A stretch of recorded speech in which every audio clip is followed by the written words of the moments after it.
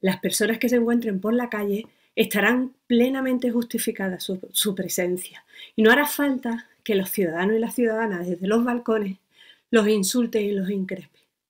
Porque resulta que el decreto reconoce las salidas terapéuticas y si ven a un niño o una niña con su padre o con su madre, o un chico o una chica con su padre o con su madre, piensen antes de insultarles que probablemente será el grupo que sí tiene permiso para estar en la calle.